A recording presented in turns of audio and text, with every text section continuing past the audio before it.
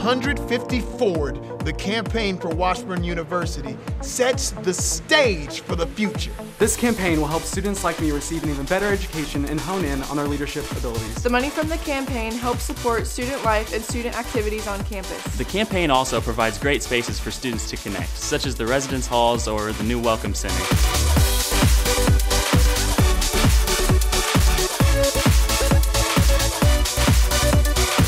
$100 million campaign is important to students like myself because we will get many opportunities that we've never had. This campaign provides money for spaces where students and student organizations can meet and stay engaged on campus. It provides wonderful opportunities like scholarships for all the students here on campus.